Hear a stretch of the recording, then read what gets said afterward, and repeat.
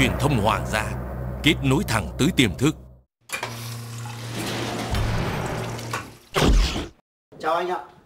À, chào cậu. Ờ, anh ơi, ờ, anh có thể giúp tôi được không ạ? Tôi đang có cuộc hẹn với ông Hữu Tài, giám đốc ạ. Cậu là nhân viên bán hàng mới để Dạ chưa ạ. ý tôi là cậu đang tuyển vào vị trí đó phải không? Vâng vâng ạ. Gặp ông Tài rất gay, Gai à anh? cực gay luôn. Anh ơi, anh có thể cho tôi một số lời khuyên được không ạ? Được. Tôi sẽ cho cậu một vài lời khuyên vì tôi là nhân viên lâu năm ở đây, tôi rất hiểu rõ tính sếp của tôi. Thế thì tôi xin nghe anh. Ờ, anh cứ nói đi ạ. Ông Tài là một người ưa thẳng thắn, cho nên cậu phải tỏ rõ hết tất cả những ưu điểm và khuyết điểm của mình, không có vòng vèo gì cả. Tôi hiểu là ông ta sẽ tỏ ra tức giận, có thể nóng giận đối với tôi, nhưng tôi không sợ. Tôi sẽ tranh luận và thẳng thắn với ông ấy đến cùng. Đấy là một cá tính mạnh. Ông Tài rất ưa những người có cá tính mạnh, chứng tỏ ông rất ưa cậu. Vâng, ờ, tôi đang đợi ông Tài ở đây. Ờ, cảm ơn anh nhiều lắm nhé. Không sao, giúp đỡ người mới là trách nhiệm của chúng tôi. Sẽ không có gì là khó nếu như anh biết tranh thủ tình cảm của ông ta. Còn nếu như anh không nghe lời ông ta, anh sẽ gặp bất hạnh đấy. Cô nói thế nghĩa là sao? Nếu anh tỏ ra là một người hiếu thắng, ông ta sẽ không để cho anh yên đâu. Với ông ta, anh phải tỏ ra là người phục tùng này.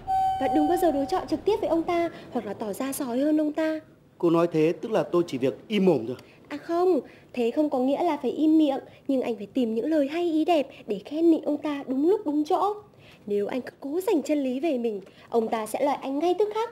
À, mà còn một điều nữa, ông ta là người mệnh hỏa, mà người mệnh hỏa là rất đa nghi đấy. À, cậu là Lê Bình phải không? Chào ông, tôi là Lê Bình ạ. À, chào cậu. Quên cài đúng áo kìa. Vâng, cảm ơn ông. Ông thật là chu đáo quá. Việc này là do sơ suất của tôi. Ờ, xin cảm ơn ông rất nhiều. Ờ, tuy nhiên, ông cũng như thế kìa. Cái bụng của ông mỡ máu rất nhiều, ờ. rất là to. Ông nên có chế độ tập tành cẩn thận, nếu không sinh bệnh, sinh tật rồi đấy. Trời ơi, lần đầu tiên tôi chưa phỏng vấn cậu mà tại sao cậu dám biết phê bình cái bụng của tôi ha? Dạ, báo cáo sếp tôi thẳng thắn mà.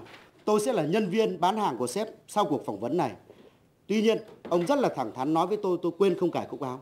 Tôi cũng cho ông lời khuyên nên có chế độ tập tành cẩn thận. Mỡ máu, sinh bệnh, sinh tật. Không có phỏng vấn gì trơn trời, ông cậu đi ngay đi. Dạ, thưa giám đốc, có thể là cách diễn đạt của tôi dùng từ nó hơi lỗ mãng, nhưng sâu thẳm bên trong của tôi đó là tấm lòng là tình cảm. Dạ, cũng như là cái bụng đang rất xì tin của giám đốc ạ. Báo cáo giám đốc, tôi sẽ là nhân viên giỏi nhất trong số những người giỏi của công ty mình ạ. Bây giờ cậu có giỏi gì trơn rồi, tôi yêu cầu cậu bây giờ ra khỏi chỗ này ngay. Cậu Dạ, đi liền. giám đốc là tôi ờ, Đi, đi liền.